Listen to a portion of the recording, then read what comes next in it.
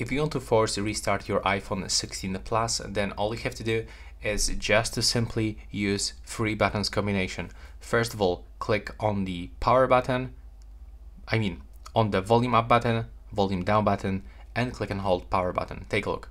Volume up, volume down, click and hold power button, and now hold it all the time until your iPhone 16 Plus turns off.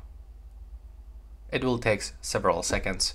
Now we can release and if the screen doesn't goes back automatically, then you will have to press the side button. But as you can see in my case, everything is fine.